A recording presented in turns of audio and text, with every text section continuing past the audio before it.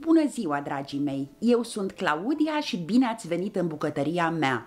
Astăzi vom face împreună un desert simplu, ușor și foarte rapid de făcut.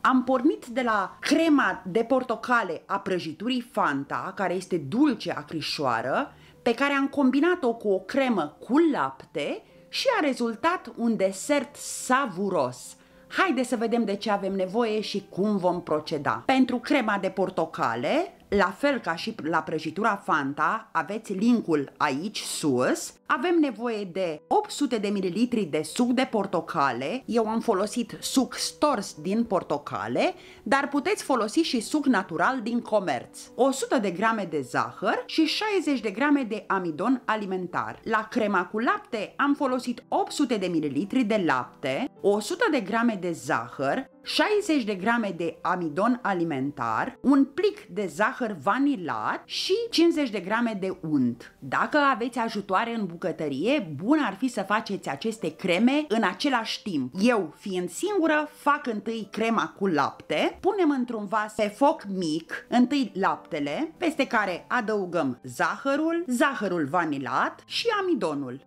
Laptele este încă rece. Amestecăm până la completa dizolvare a amidonului și pe foc, la flacără mică, dacă faceți la aragaz, trebuie amestecat continuu până se formează crema. Această etapă poate dura între 3 și 5 minute.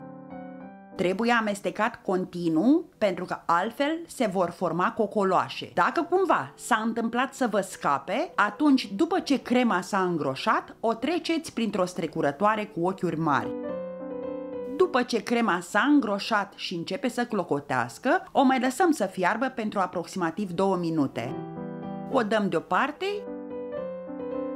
o acoperim cu folie alimentară pentru a nu se forma crustă.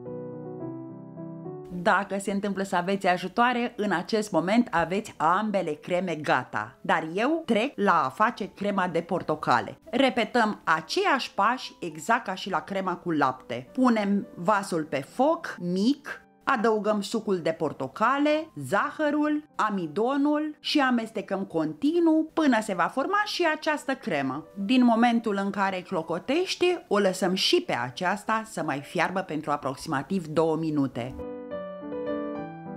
Îmbrăcăm cu folie alimentară o crăticioară sau o tavă care să aibă volumul de aproximativ un litru și jumătate și începem să turnăm alternativ din cele două creme.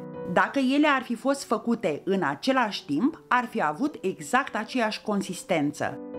După ce am terminat de turnat ambele creme, scuturăm bine vasul pentru a se uniformiza la suprafață și va merge la rece pentru aproximativ 3-4 ore, până se încheagă complet. După cele 4 ore, punem un platou deasupra, răsturnăm, scoatem vasul, îndepărtăm folia și gata! Merită să încercați pentru că nu durează mult, nu aveți nevoie de cuptor, simplu, ușor și savuros.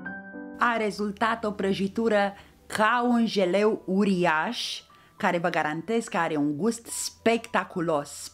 Poftă bună, dragilor!